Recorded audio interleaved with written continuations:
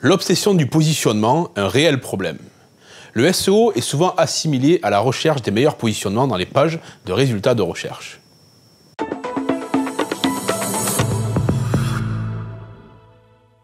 Le positionnement de mots-clés est une des mesures les plus précieuses en SEO.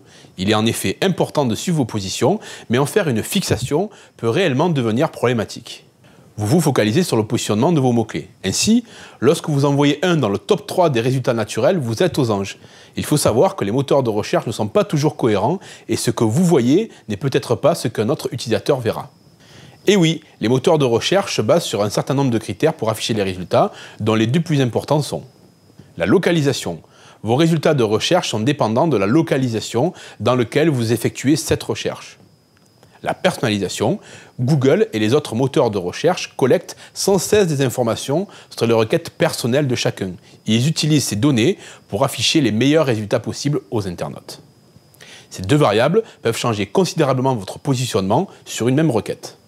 De plus, la chasse aux mots-clés peut nuire à la qualité du trafic recueilli. En effet, vouloir apparaître sur un mot-clé assez généraliste est une stratégie qui a ses limites, sachant que la plupart des mots-clés qui génèrent du trafic qualifié sont des mots-clés dits de longue traîne, c'est-à-dire des phrases plus qu'un mot.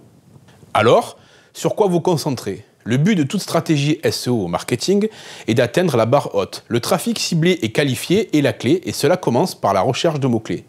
Ceux de longue traîne sont de réelles opportunités car ils sont plus spécifiques et plus précis.